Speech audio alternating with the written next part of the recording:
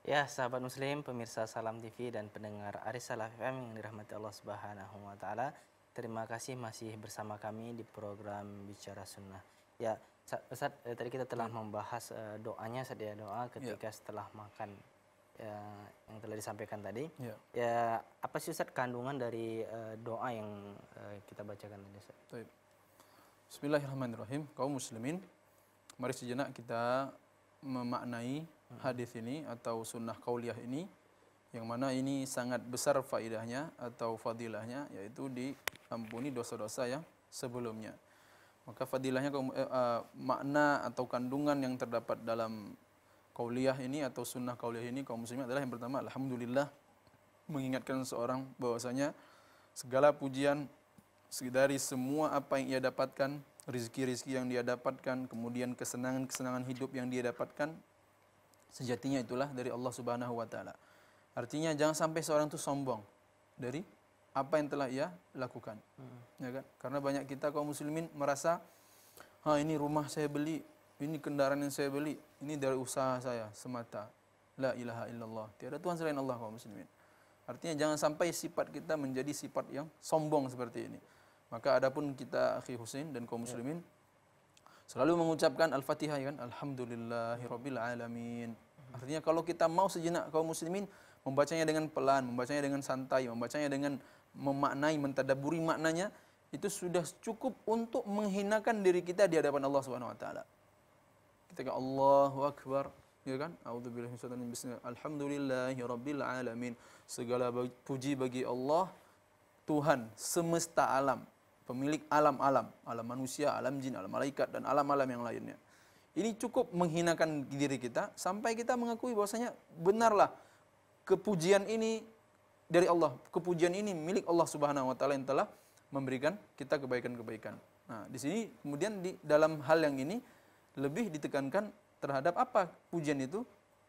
Ladzi atau amani hadat ta'am yang telah memberikan rizki makanan ini kepadaku ya kan? Telah memberikan makanan ini kepadaku. Karena sesungguhnya yang memberikan makanan itu Allah Jalla wa ala ya.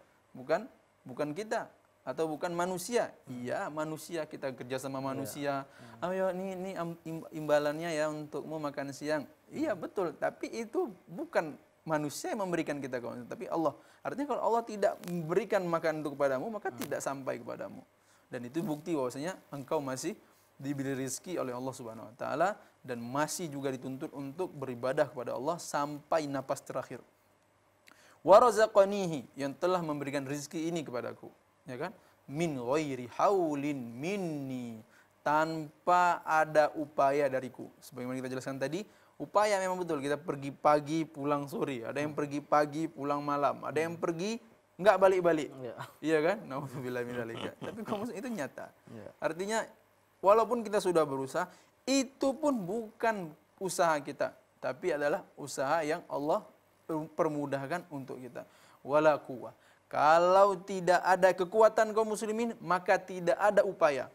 Kalau tidak ada kekuatan dari Allah Subhanahu wa taala, maka tidak ada usaha yang dapat kita lakukan. Anda mau kerja, tapi Anda nggak punya kekuatan, maka tidak akan kerja. Maka ini sekali kaum muslimin mengingatkan kita untuk mensyukuri nikmat Allah Subhanahu wa taala. Ya, mudah-mudahan kalau kita baca dengan baik, mudah-mudahan kalau kita baca dengan uh, menghayatinya, maka sebagaimana Nabi sallallahu alaihi wasallam ucapkan, "Ghufira lahu ma taqaddama min dhanbihi." Maka Allah akan ampunkan dosa-dosa yang telah berlalu. Amin ya rabbal alamin. Seperti itu akhi. Jadi uh, nah. di antara faedah dalam uh, nah. membaca doa tadi Sat, nah. itu diampunkan uh, dosanya. Dosa-dosa yang telah berlalu. Nah. Ya Sat, ini uh, ada pertanyaan Sat dari ya. sahabat muslim Sat. Uh, Assalamualaikum warahmatullahi wabarakatuh Ustaz. Maaf di luar tema, ini Indra dari Bogor mau tanya Ustaz. Ya. Ketika kita lagi sholat wajib di masjid, terus mendengar suara azan di tempat lain, itu gimana hukumnya Ustaz? Tayyib kalau misalnya mendengar yeah. azan ya nggak masalah saja. Yeah, mendengar azan mungkin pertanyaan apakah apa hukumnya? Uh, apa hukumnya kita, yeah. Iya. uh, kan ada sunnah-sunnah ketika mendengar azan. Kalau muslimin uh, apabila seorang mas, uh, menuju kepada masjid kampungnya yeah. atau kompleknya, kemudian azan di komplek sudah habis mm -hmm. atau tidak ada azannya, yeah. ya kan? Kemudian yang azan di kampung sebelah atau mm -hmm ya daerah sebelah lagi. Kemudian apakah kita boleh mengucapkan apa yang diucapkan oleh imam? Maka boleh. Maka boleh. Artinya tidak ada larangan dalam hal ini. Dan itu juga kalau memang dia mampu melakukannya maka melakukannya. Sebagaimana juga dalam solat, kalau Akhi Husin sudah solat di kampung Akhi Husin, solat uh, Isya misalnya, kemudian pergi kampung orang lain, Ya. masih mau melaksanakan solat Isya, maka diperbolehkan untuk solat. Wallahu alam. Seperti itu. Cuma di sini Ustaz dibilang ketika kita lagi salat wajib, Ustaz. lagi salat wajib terus Iya. mendengar azan itu, maksudnya dalam salat itu apakah kita mengucap Oh, ini pertanyaannya dalam salat wajib. Oh jangan Iya. kaum muslimin, nggak ada masalah. Tidak ada lagi, tidak ada. Maka yang itu fokus kepada salatnya, jangan menjawab azannya. Karena ketika Seperti udah itu. datang yang wajib itu Iya. yang sunnah-sunnah itu dia gugur Ustaz. ya? Iya, betul gugur. Karena kata Nabi SAW, kalau sudah idza uqimatis shalah fala salata illa maktubah. Ini sholat aja nggak boleh, apalagi yang lain seperti itu.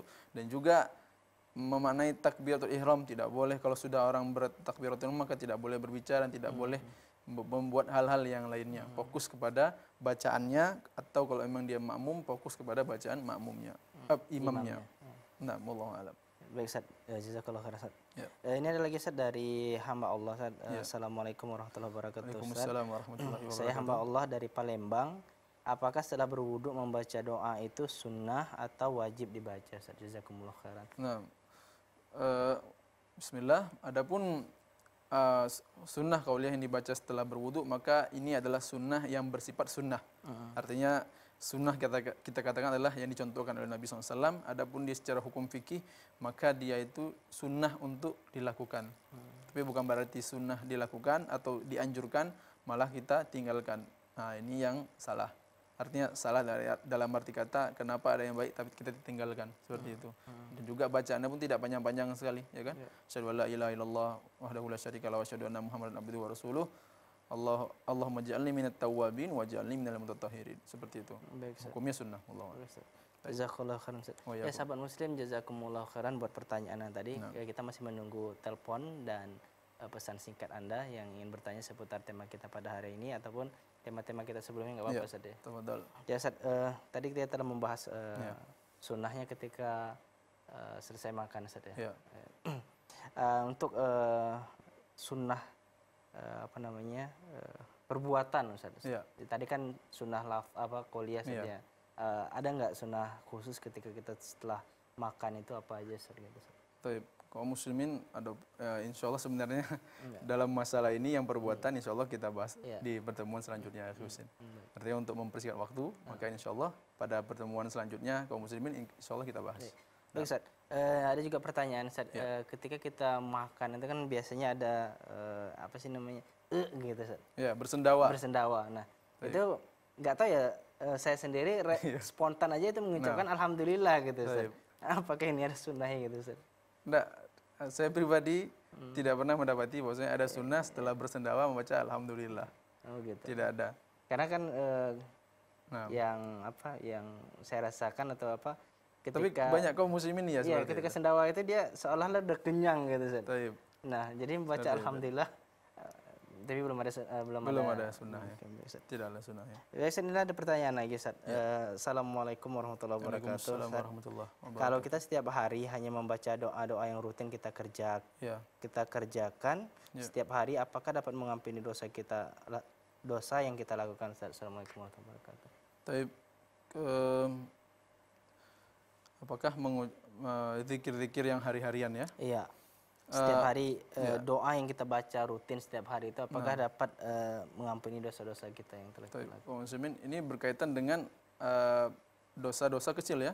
Adapun dosa-dosa besar kaum muslimin maka ini perlu lagi tambah apa itu dengan taubat. Kemudian juga kalau emang dia eh, ada kenaan dengan hak manusia seperti kalau dia mencuri barang maka di, dikembalikan.